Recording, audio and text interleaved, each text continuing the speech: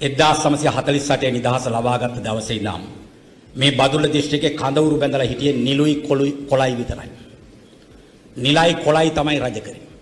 මම හිතනවා අද මේ දහස් ගාණක් ත්‍රිවිධ හමුදාවේ බදුල්ල දිස්ත්‍රික්කේ සහෝදර සහෝදරයෝ ඇවිල්ලා ඉඩකඩ මදි වෙන්න තරමට මේක පිරීලා එළියෙත් ඉනම් මේ පෙන්වන්නේ වෙන මොකක්වත් නෙවෙයි අනාගතයේ බදුල්ල දිස්ත්‍රික්කයේ කඳවුරු බඳින්නේ මාලිමාව නැත්තම් ජාතික ජනබලවේගය කියන එක තමයි මේ පෙන්වන්නේ.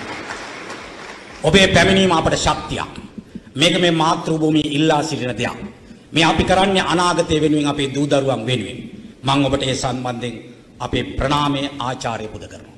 මේ ශක්තිය ලබා දීම සම්බන්ධයෙන්. අපි දන්නවා ලෝකේ අපි කවුරුත් යුද්ධ වලට කැමති නැහැ. අපි කැමති සාමයට.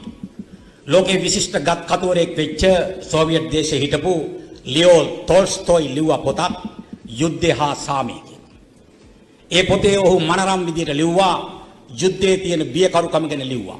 යුද්ධය හරි බියකරු කියලා ලිව්වා. සාමය හරි සුන්දරයි කියලා ලිව්වා.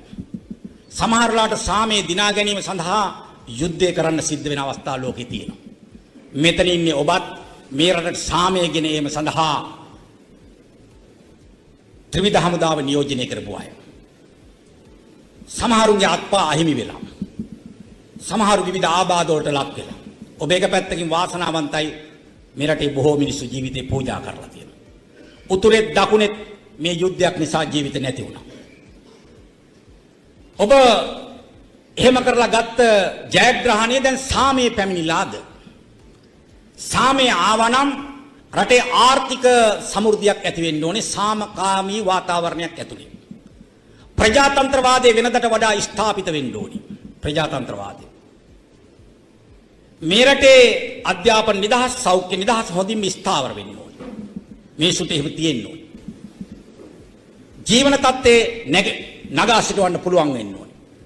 ඔබ කල්පනා කරලා බැලුවම හිතෙනවා මේ රටේ බොහෝ මිනිසුන් යුද්ධයකට ඇද දාපු පාලකයෝ ඒ යුද්ධය නිමා කරලා ආපස්සට හැරලා බැලුවත් ඔබට සාමය ඇවිල්ලා නැහැ. රටට සාමය ඇවිල්ලා නැහැ. ආර්ථික සමෘද්ධිය ප්‍රජාතන්ත්‍රවාදය ඇවිල්ලා නැහැ. හැබැයි ඔබට ආවේ නැතුණාට කොටසකට ඒ සාමයේ ප්‍රතිලාභ ගිහිල්ලා තියෙනවා. උතුරට වසන්තය ගේනවා කිව්වා. නැගෙනහිරට නවෝදය ගේනවා කිව්වා. උතුරට වසන්තය කෙසේ වෙතත් රනිල්ලට නම් වසන්තය තියෙනවා. නැගෙනහිරට නවෝදය කෙසේ වෙතත් රාජපක්ෂලාට නවෝදය ආවා. සෞභාග්‍ය ආවා. මෙරටේ සිංහල දෙමළ මුස්ලිම් ජනතාවට ඒකේ ප්‍රතිලාභ ආවේ නැහැ. එතනයි ප්‍රශ්නේ තියෙන්නේ. මේරට මහත් ජීවිතවලින් වන්දිග වෙලා ජීවිත පූජා කරලා ගත්ත දේ ආපස්සට බලනකොට රටට ලැබිලා නැහැ. ඔබ අපේ අර සහෝදරි කිව්වා වගේ ඔබ ඒ යුද බිමේ එකින් එක නිදහස් කරලා සාමය වෙනුවෙන් මේ රටට අරගෙන දෙනකොට ඔබ එහෙන් එකෙන් එක ගන්නකොට පාලකයෝ ගත්තේ මොකක්ද දන්නවද? ඔබ එහෙ ජයග්‍රහණ ගන්නකොට පාලකයෝ ඒ ජයග්‍රහණය පෙන්නලා ලංකාවේ එකින් එක පළාත්වල මැතිවරණ තියලා පළාත් එකතු ඒ කට්ටිය ජයග්‍රහණය කරන්න පටන් ගත්තා. උතුරු නැගෙනහිර නිදහස් කර ගන්නකොට පාලකයෝ මේ රටේ පළාත් අල්ලන්න පටන් ගත්තා. පවුලක් මේ රට අල්ලන්න පටන් ගත්තා. නාමල් රාජපක්ෂලා මහින්ද රාජපක්ෂලා චමල් රාජපක්ෂලා මාගම රාජධානිය බලය පිහිටව ගත්තා. ඒ පවුලෙන්ම කෙනෙක් මෙහාට වෙලා ඌව වෙල්ලස්සේ බලය අල්ලගත්තා සචින් රාජපක්ෂ. රාජපක්ෂගේ නංගිගේ පුතා නිපුණ රණවක ගිහිල්ලා මාතර බලය අල්ලගත්තා. බැසිල් ගිහිල්ලා ගම්පහ බලය අල්ලගත්තා. මහින්ද ගිහිල්ලා ඇතුගල්පුරේ බලය අල්ලගත්තා. මොකද්ද රටට ලැබිච්ච ප්‍රතිඵලය? එයාලට වසන්තය, එයාලට නවෝදය, එයාලට සෞභාග්‍ය අපට ඒක ආවේ නැහැ. එහෙනම් දැන් මේ රටේ ජනතාවට අවස්ථාවක් තියෙනවා. අන්නේ අපට අහිමි කරපු වසන්තය අපට අහිමි කරපු නවෝදය අපට අහිමි කරපු සෞභාග්‍ය සැබවින්ම මේ රටේ පොදු ජනතාවට ගිරැත් දෙන්න ඕනේ. අන්නේ සඳහා තමයි මේ කඳවුරු බැන්දේ අනිවාර්යයෙන්ම අපි සහතික කරලා කියනවා ජාතික ජන බලවේගය අපි ඒක ඔබට ගෙනත් දෙන්න සූදානම් ජාතික ජන බලවේගය ගෙනත් දෙන්න සූදානම්. ඒක විශ්වාස කරපු මේ රටේ උගත්තු බුද්ධිමත්තු පූජ්‍ය පක්ෂයේ ගොවියෝ කම්කරුවෝ ඔක්කොම ලක්ෂ සංඛ්‍යාත ජනතාවක් අත අද මෙතෙන්ට රොද බැඳලා තියෙනවා. අන්න ඒ වගේ වෙලාවක තමයි අපි මේ බිමේ මේ කටයුත්ත කරන්න ඕනකම තියෙන ආදරණීය මේ තාත්තේ සහෝදරයා සහෝදරි. අදත් යුද්ධයක් තියෙනවා කියලා මම මේ රටේ කියනවා. අදත් යුද්ධයක් තියෙනවා. ඒක අලියාවුද පාවිච්චි වුන් නැතුණාට ඔබත් ඒ යුද්ධේ නියැලෙනවා. මොකක්ද යුද්ධේ? මේ තියෙන සමාජ ක්‍රමයේ ඇතුලේ ඔබ යුද්ධ කරනවා තුන් වේල කන්න. යුද්ධ කරනවා බෙහෙත් ටික ගන්න. යුද්ධ කරනවා දරුවට උගන්වන්න. යුද්ධ කරනවා සමාජ වගකීම් ඉෂ්ට කරන්න. මහා යුද්ධයක් අවසන් වුණත් ජීවිත යුද්ධය අවසන් වෙලා නැහැ. ඒක ප්‍රබල යුද්ධයක් බවට අද පත් වෙලා තියෙනවා. මම දන්නවා අපේ ඥාතීන් ඉන්නවා සහෝදරු ඉන්නවා අපේ මේ දිස්ත්‍රික් වල ත්‍රිවිධ හමුදා. සමහරු වැඩි කොට දානවා. සමහරු කුලී වැඩ වලට යනවා. අන්ත දුක් විඳිනවා. ත්‍රිවිල් එකේ රස්සාව කරනවා. තුන් වේල කන්න බැරුව විදෝනවා. අද මෙතන පිරෙන්න ඕනේ මේ ගානින් නෙවෙයි. මේට වඩා විශාල පිරිසක් අපි ආමන්ත්‍රණය කළා සූදානම් කරලා තියෙන්නේ. ඒ ඔක්කොටම එන්න බෑ කියලා අපි දන්නවා. ඒ වගේ මේ රටේ සෑම දෙනාම මේ දුක් විඳින තත්ත්වයට පත් වෙලා තියෙනවා. අපි දන්නවා මේ පාලකයෝ දැනටත් මල්ටි බැරල් ප්‍රහාර එල්ල කරනවා පාලකයෝ එල්ල කරන්නේ. මේ පාලකයෝ මල්ටි බැරල් වලින් ප්‍රහාර එල්ල කරනවා. කාටද එල්ල කරන්නේ? මේ රටේ පොදු මහ ජනතාවට එල්ල කරන්නේ. ඒවා සීත කාමර වලින් නම් ගහන්නේ. සීත කාමර වලින් නම් ගහන්නේ පෑණෙන් අස්සම් කරලා ගහන්නේ. ගැසට් කියලා ගහන්නේ. මේ පාලකෝ ගැහුවා එක මල්ටි බැරල් එකක් අපේ රටේ කෘෂි කර්මාන්තයට. ඔක්කොම විනාශ වෙලා ගියා. ඔක්කොම විනාශ වෙලා ගියා. රටේ ගොවිතැන නැති වුණා. මේ කට්ටිය මල්ටි බැරල් ප්‍රහාරය ගැහුවා මේ රටේ වෘත්තිකයන්ට. වෘත්තිකෝ අනාථ වෙලා ගියා. අනාථ වෙලා ගියා. අමතර ආදායම් මාර්ගයක් නැති වෘත්තිකෝ අනාථ වෙලා ඉන්නේ අද. ටයි දාගත්ත හිඟන්නු ලංකාවේ ඉන්නවා. ඔවුන්ට අගහුරේට නෙවෙයි කියන්නේ. සාරි ඇඳගත්ත හිඟන්නියෝ රටේ ඉන්නවා. කාර්යාලවල වැඩ කරනවා. ඒ පඩියෙන් ජීවත් වෙන්න බෑ. ගැහුවා. මල්ටි බැරල් ප්‍රහාරය ගැහුවා. සමහරු රට අත්හැරලා යනවා සරණාගතයෝ යනවා වගේ යනවා. යුද්ධයක් තියෙන වෙලාවේ රට අත්හැරලා යන්නේ. අර යුද්ධ තිබුණු කාලේ අත්හැරලා යන ප්‍රමාණයට වැඩිය වෘත්තිකෝ රට අත්හැරලා යනවා. ඒක අනාගතයට කොහොම බලපායිද කියලා කල්පනා කරලා බලන්න. පාලකෝ ගහනවා. සාමාන්‍යයෙන් ලෝකේ යුද්ධවලදී තහනම් අවියායුධ කියලා જાතියක් තියෙනවා. තහනම් අවියායුධ. රසායනික අවි පාවිච්චි කරන්නේ නැහැ. මේ පාලකෝ ඒවත් පාවිච්චි කරනවා. ඒ කිව්වේ කිසිදු මනුස්සකමක් නැහැ. බඩු මිල වේගෙන් ඉහළට දානවා. තුන් වේල කන්න බැරි දරු පැටවු ඉන්නවා. ලංකාවේ වැඩිම මන්ද පෝෂණයේ තියෙන දිස්ත්‍රික්කය නුවරඑළිය දෙක බදුල්ල. රසායනික අවි ප්‍රහාර එල්ල වෙලා. තුන් වේල කන්න බෑ. මේ ආණ්ඩුව බලයට එනකොට කිරිබත් කිව්වා මිනිස්සු. හාල් කිලෝ එක රුපියල් 75ට අරන්. අද ඒ හාල් කිලෝ එක ගන්න වෙලා තියෙන රුපියල් 200 පැනලා. මේ ආණ්ඩුව ඇවිල්ලා පරිප්පු දුන්න රුපියල් 65ට. දැන් පරිප්පු තියෙන රුපියල් 300 ගානට. මේ ආණ්ඩුව එනකොට බිත්තරේ තිබුණ රුපියල් 14ට. දැන් ඒ බිත්තරේ ගන්න 50න් එහා.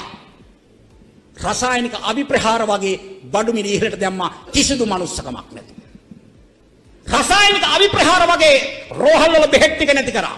බාල බෙහෙත් ගෙනාවා. කල්පනා කරලා බලන්න. දැන් යුද්ධේ නියලිච්ච ඔබ දන්නවා. ඔබට යුද්ධය තිබුණු කාලේ මරබිය දීමනාව කියලා එකක් හම්බුණා නේද? මේ ප්‍රදේශවල හිටපුවාට මරබිය දීමනාව කියලා. මම මේ රනිල් රාජපක්ෂලාට යෝජනා කරනවා මරබිය දීමනාව නැවත දෙන්න කියලා. මේ රටේ ජනතාවට. ඇයි දන්නවද? ඉස්පිරිතාල වල ගිහිල්ලා බෙහෙත් ගන්න. මරබිය දැනෙනවා. සෞඛ්‍ය ඇමති කියනවා කෙහෙලිය කියනවා ඕක සාමාන්‍ය දෙයක්. ඕ නෑම රෝහලක් ඉස්සරහා මල් ශාලාවක් තියෙනවා කියනවා. අන්න ඒ වෙලාවට තමයි මරබිය දීමනාව අවශ්‍ය වෙන්නේ. ඉන්ජෙක්ෂන් ගහනකොට මැරෙනවා. විශේෂඥ වෛද්‍යවරු මේක අතහැරලා යනවා. එහෙම රටක් අපට දීලා තියෙන්නේ. අපිට දැන් වගකීමක් තියෙනවා. නැවතත් මේක වෙනස් කිරීමේ සඳහා වගකීමක් තියෙනවා. ඒක ඔබට අපට කළ හැකි. ඒක කරන්න පුළුවන් කියලා දැන් පාලකයෝ දන්නවා. ඒ හින්දා තමයි මේ ඡන්ද කල් දාලා තියෙන්නේ. හැබැයි අපි පාලකයන්ට කියනවා උඹලට ගොඩක් කල් වංගු ගහන්න වෙට්ටු දාන්න දෙන්නේ අනිවාර්යයෙන්ම මේ රටේ ජනතාවට ඡන්දයක් ගෙන දෙන එක අපේ වගකීමක් සලකලා අපි ඒක අනිවාර්යයෙන්ම ඉක්මනින් ගේනවා. ඡන්ද ගේන. එනකම් මේ වෙලාවේ වගකීමක් තියෙන ඔබ අප කාට. අන්නේ වගකීම අපි කවුරුත් ඉෂ්ට කරමු කියලා මම ඉල්ලීමක් කරනවා. අපිට මේ පළාත් හදන්න පුළුවන්. දැන් මේ අපේ බදුල දිස්ත්‍රික්කේ ගත්තොත් මේක ගොඩ නගනවා නම් මොකද්ද අපිට තියෙන සම්පත් මොනවද තියෙන හැකියාවන් කියලා බැලුවම ඔය බදුල්ලේ ආණ්ඩුවේ ඔය කාර්යාලවල සංඛ්‍යා ලේඛනවල කියනවා ලංකාවේ විශාලම අර්ථාපල නිෂ්පාදනය කරන්නේ දේශීය වශයෙන් බදුල්ල දිස්ත්‍රික්කය කියලා. ලංකාවේ දේශීය අර්ථාපල නිෂ්පාදනයේ 89ක් දෙන්නේ අපි. 89ක් අපි දෙන්නේ. හැබැයි ඉස්සර අපිට බීජ අර්ථාපල නිෂ්පාදනය කර අපේ රටේ. දැන් ඔක්කොම රටින් ගේනවා. දැන් බීජ අර්ථාපල් පෙට්ටියක් කිලෝ 50ක් දැනෝල හරි මොන හරි ගේනකොට ඒවා රුපියල් 25000යි 30000 පැනලා තියෙනවා. මෙහි බීජ අර්ථාපල් ගලවනකොට පිටරටින් අර්ථාපල් ගේනවා. මේවා වටනවා. අපේ රටේ අපේ මේ බදුල දිස්ත්‍රික්කය ගත්තා ගත්තොත් විශාල තේවගාවක් තියෙනවා. ඒ තේ එක් අපේ වතුකරේ ජනතාවක් දස දුක් විඳිනවා තාම මූලික අයිතිවාසිකම්වත් නොලැබී. අපේ තේවතු පනා දිනවා. මහ තේවතු වල ගස් කපලා තමයි ඒ වතු පවත්තන් යන්නේ. කුඩා තේවතු හින්දා තමයි මේ ගානට පවතින්නේ ලංකාවේ තේ කර්මාන්තය. සිලෝන් ටී කිව්වම ලෝකේ අංක එකේ තේ දැන් අංක 6ට වටලා තියෙනවා. බාර ගන්න ඕනේ මේ රටේ පාලකයෝ. අන්නේව නැවත හදන්න ඕනේ. අපේ රටෙන් අපේ පළාත ගත්තම අපේ දිස්ත්‍රික් ගත්තම මහා වෙල්යායවල් තියෙනවා. කුඹුරු තියෙනවා. බදුල දිස්ත්‍රික් ලේකම් කාර්යාලයේ මෙවර විනිකුත් කරපු සංඛ්‍යා ලේඛන වාර්තාවේ කියනවා වගා නොකළ ඉඩම් ප්‍රමාණය වගා කිරීමට හැකි වගා නොකළ ඉඩම් ප්‍රමාණය අක්කර 298000කට ඩිංගක් වැඩි කියලා. ඇයි මේ ප්‍රාග්ධනයක් නේ තියෙන්නේ? ඇයි මේවා අපත යවන්නේ? අපේ රටේ කිරි නිෂ්පාදනය හොඳටම කරන්න පුළුවන් දිස්ත්‍රික්කයක් තමයි බදුල්ල දිස්ත්‍රික්කය. මේක මනරම් තැන. සංචාරක ව්‍යාපාරයට තෝතැන්න. අපි ඒක හරියට ප්‍රයෝජන ගන්නෑ. අපි බලාපොරොත්තු වන ජාතික ජනබලවේගයේ ආණ්ඩුවක් යටතේ ඔන්න ඔය සියලු ශේෂ්ත්‍රවලට පණ දෙන්න. ආපහු තැන දෙන්න. මේ බදුල්ල ජනතාවට අපි නිතර කියන කාරණයක් තියෙනවා. මේ බදුල්ලට සංවර්ධනය ලේසියෙන් ආවේ නැහැ. අපේ හාමුදුරනේ බුදුන් වහන්සේ තුන් පාරක් වැඩම කළා මේ අපේ පළාතට ඌව පළාතට ආවා. ලංකාවේ පළවෙනියෙන් ආවෙත් මහියංගනේට. බුදුන් වහන්සේ තුන් පාරක් ආවට සංවර්ධනය නම් තාම වැඩම කළේ නැහැ. අපිට සංවර්ධනයේ සිහිනයක් වෙලා තියෙනවා. ලංකාවේ දුප්පත්ම පළාත පහුගිය අවුරුද්දෙත් මුදල් අමාත්‍යාංශයේ පොතේ අච්චු ගහලා කියනවා දුප්පත්ම පළාත ඌව කියලා. අපි දුප්පත් වෙන්න ඕනේ මිනිස්සු නෙවෙයි. අපිට ඉස්සලම ගැහුවේ සුද්ධ තමයි. අපේ කෙත්වතු විනාශ කරා. වැව්වමුණු විනාශ කරා. ඒ වගේම දැන් පාලකයොත් කුෂිකර්මාන්තයට මල්ටි බෙරල් ප්‍රහාර එල්ල කරනවා කිව්වේ ඒකයි. එදා සුද්ධ ගැහුවේ ඌවට වෙල්ලස්සට විතරයි. මුන් රටටම ගහලා තියෙන්නේ. අන්න එහෙම තත්ත්වක ඔබ අප ඉන්නේ. මේක වෙනස් කරන්න ඕනේ. මේ බදුල්ලට සිදු වුණා නම් ලොකුම සංවර්ධන ව්‍යාපෘතිය මොකක්ද කියලා මගෙන් ඇහුවොත් මගේ දැනුම හැටියට මම මේ කියන්නේ. ලොකුම සංවර්ධන ව්‍යාපෘති තමයි විශ්ව කර්ම විදියට අපිට උඩරට දුම්රිය මාර්ගයක් හදලා දුන්නා බදුල්ලට ඇවිල්ලා කෝච්චියක් නවත්තන්න. එතනින් එහාට තාම අඟලක් ගෙනියන්න බැරුණා කෝච්චි බාර. බින්ගෙවල් 48ක් ඇතුලෙන් ඇවිල්ලා කෝච්චිය බදුල්ලට එනවා. සුද්ධ කෝච්චිය බදුල්ලට ගෙනාවේ ඇයි? උගේ නිෂ්පාදන අවශ්‍යතාවයට. මෙහි තේ කොළ ටික එහාට ගෙනියන්න. මෙහි තේ කොළ එහාට ගෙනියන්න. එහෙන් ගල් ලඟුරු මෙහාට ගේන්න. එහෙන් තේ ටික මෙහාට ගේන්න. අහෝ කේදේකි අවාසනාවන්ත තත්ත්වයකි. දැන් කෝච්චියේ තේ කොළ යන්නේ නැහැ. දැන් තේ කොළ යන්නේ ලොරියේ. හපුතලේ තියෙනවා කංජත සස්තාවේ ගබඩාවක්. බදුල්ලෙක් ගබඩාවක් තියෙනවා. දේශපාලඥයන්ගේ සහ හිතවත්තුන්ගේ මහා බෞස කොළඹ ඇතුළේ මේ පාරවල් බ්ලොක් කරගෙන අර හපුතලේ නැගලා තෙල් ගේනවා බෞසවල. දුම්රිය දෙපාර්තමේන්තුව පාඩුයි කියනවා. කැප්පෙටිපොළ එළවලු, බණ්ඩාරවල එළවලු, ලොරි වල පටවල තලලා අට්ටි ගහලා දඹුල්ලට යනවා මැනින් මාකට් එකට යනවා. කෝච්චි පෙට්ටි නිකන් යනවා. දුම්රිය මාර්ගයක් තියෙනවා. ප්‍රයෝජනයක් ගත්තේ නැහැ. අපේ කුෂිකර්මාන්තේ එදා තිබුණු තැනම තමයි තාම තියෙන්නේ. මේක වෙනස් කරන්න ඕනි. අන්න ඒ සඳහා මේ වරම් ඉල්ලන්නේ. වෙන මොකටවත් නෙවෙයි. ජන ජීවිතේ ගොඩ ගන්න ඕනි. ඇත්ත ප්‍රජාතන්ත්‍රවාදයේ ගේන්න ඕනි. ඇත්ත සාමයේ ගේන්න ඕනි. ජාතික සමගිය හදන්න ඕනි. ගොඩාක් කාර්යභාරයක් තියෙනවා. අන්නේ කාර්යභාරය කරන්න අපි සාමූහිකයක් හැටියට එකතු වෙන්න ඕනි. ඒක ඔබ එකතු වෙනවා කියන්නේ ලොකු ශක්තියක්. නිකම් මං අතන ඉඳන් ඉඳන් කල්පනා කරා මං සේනක සහෝදරයෙකුත් ඇහුවා ලොකු කැම්ප් එකක කොච්චර විතර සෙනග ඉන්නවද කියලා. කැම්ප් එක. සාමාන්‍යයෙන් සාමාන්‍ය කැම්ප් වල 450 600 වගේ ඉන්නවා කිව්වා. මං කිව්වා එහෙනම් මෙතනත් ලොකු කැම්ප් එකක් දහස් ගාණක් ඉන්නවා කියලා. දහස් ගාණක්. මේ ඔක්කොම අද සිවිල් පිට හිටියට ඔබ කව එදා යුනිෆෝම් එකක් මිනිස්සු. දැවන්ත බලකායක් මේ ඉන්නේ. දැවන්ත ශක්තියක් තියෙන්නේ. මේක නිකන් අපත යවන්න ඕනේ නැහැ. මේ අපේ දූ දරුවන් වෙනුවෙන්, මේ මහ පොළොව වෙනුවෙන්, මේ රටේ අනාගතය වෙනුවෙන් ඔබේ දායකත්වයේ මේ මාතෘ භූමියේ දරුවෝ වෙනුවෙන් අපි ඉල්ලා සිටිනවා. ගමට යන්න, බිමට යන්න අපේ ගමේ තියෙන දැවන්ත සංවිධානයක් කොට්ටාස් සභාව. ඒකට ශක්තියක් දෙන්න. හදපු තැනට නැති වල හදන්න, එකතු කරන්න. මේ යුද්ධය දිනන්න පුළුවන්. උතුරේ යුද්ධය වගේ නෙවෙයි මේ යුද්ධය. පාලකයෝ අවුරුදු 75ක් විනාශ කරපු රටක් දිනවන්න යුද්ධයක් තියෙනවා. ඒ යුද්ධයට දිනයක් තියෙනවා. දිනයක් තිබුණා මාර්තු 9 පාලකෝ බය වෙලා කල් දැම්ම අප්‍රේල් 25ට. ඒකත් දැන් කල් දාලා තියෙන්නේ. ප්‍රශ්නයක් නැහැ. ගම්බිම් මට්ටමේ පුංචි පුංචි කඳවුරු හදමු. එකතු කරමු ජනතාව. දැනුවත් කරමු. දිනයක් යුද්ධයට නියම වෙනවා. අන්න එදාට ඔබත් මූලික වෙලා ගමත් එකතු කරන් යන්න යුද්ධ ප්‍රකාශ කරන්න තියෙන ඡන්ද පොලේ. අන්න එතන ගියාම තියෙනවා ගෝණි පඩංගුවක්. ඒක ඇතුළට යන්න. ආයුධය තියෙනවා එතන නූලක ගැට ගහලා. පෑනක් හරි පැන්සලක් හරි හරියට ගන්න. ඔබට හොඳට එල්ලේ බලන්න පුළුවන්, එල්ලේ අල්ලන්න පුළුවන්.